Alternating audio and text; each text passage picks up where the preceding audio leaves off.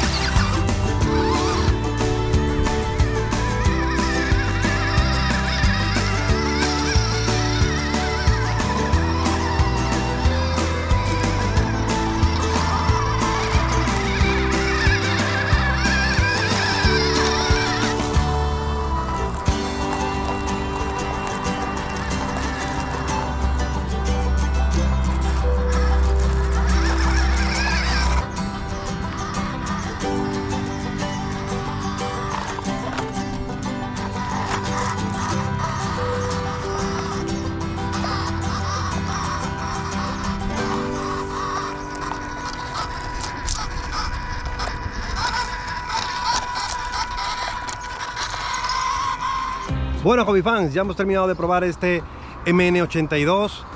El resultado es similar al 78, al MN78, ya sabéis, la carrocería del Jeep eh, Cherokee que probamos también.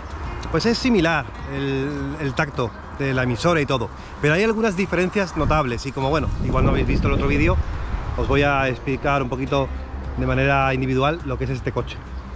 Eh, la emisora tiene dos velocidades, una más para crawlear, otra es más eh, para, bueno, pues para conducir tipo pista o tipo llano. La más larga no tiene dark brake, la, la, más corta se supone que sí. De todas maneras os digo, la más corta como es una marcha electrónica, no es mecánica, es decir, lo único que hacemos es entregar menos energía, pues eh, nos falta energía. Cuando tenemos un obstáculo importante o, o medio importante, pues no tiene fuerza. Al final tenemos que ir con la marcha, digamos, larga, que no es solamente larga, sino que también tiene más potencia. Sí que es verdad que hay que cuidar muchísimo más eh, el tema de las subidas, eh, soltar el gatillo, porque aquí sí que notamos más con respecto al 78, al MN78, que se nos va más hacia atrás, es, que, retiene menos incluso, ¿no? El grip de las ruedas es regular, no es muy bueno, tener en cuenta también que la escala es pequeña y todo esto, pero no es un, un, gran grip, es una rueda que bueno, que merece la pena cambiarla si la queréis para algo más allá de una escala, si no, está bien, ya habéis visto en el vídeo, más o menos sube, hace sus cositas. Es más, en ese sentido, en el sentido más crawlero, es mejor que el 78.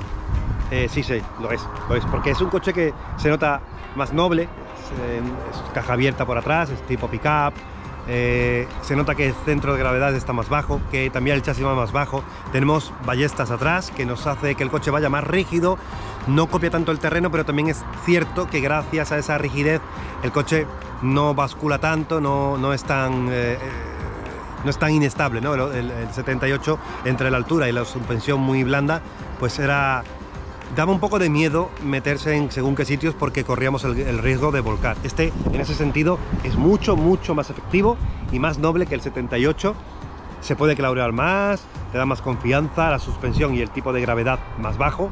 Eh, inspira mucho más y puede superar muchas más cosas. ¿eh? La hemos hecho, hemos superado algunos obstáculos que, con el 78 no se podía. Así que en ese sentido es francamente mejor, casi el doble mejor que el 78 para ese aspecto. Luego engancha mucho la parte inferior. Es verdad que los bajos casi siempre se están enganchando con cualquier piedra, con cualquier rama. El, sistema trasero de ballestas hace que se esté enganchando cada dos por tres con todos estos hierros y tal. Pero en general, eh, en general va mejor, creo yo, en ese sentido. Luego el comportamiento es muy bueno, se ve muy bonito en cámara, queda genial. Y además eh, tiene buen tacto la emisora, también tiene como un control más suave, más dulce. Yo creo que es por el coche, ya que la electrónica y, el mando es el mismo, pero se maneja mejor con una mano y me he sentido más relajado, más cómodo con este modelo. Así que bueno, lo veo bastante bien. El precio, ya os digo, con lo que tenéis ahora mismo en la cartera, probablemente podréis comprarlo, así que es prácticamente irrisorio. Ya sabéis que ahí abajo os dejo un enlace de compra por si os mola. Tenéis dos colores, este granate y otro más beige. No le hemos puesto las pegatinas y tal, pero tiene algún accesorio más eh, que viene en la caja como visteis en, como habéis visto en el unboxing. Recordad que si os gusta el vídeo, siempre para apoyarnos, dar like, suscribíos y tocar la campanita. Hasta aquí con este M82, perdón. Haremos más vídeos con él porque creo que merece la pena muy mucho. Creo que también merece la pena muy mucho como el detalle para hacer cositas a escala. Y nada, lo dicho, nos vemos en el próximo vídeo. Como siempre os digo, no os vayáis muy lejos.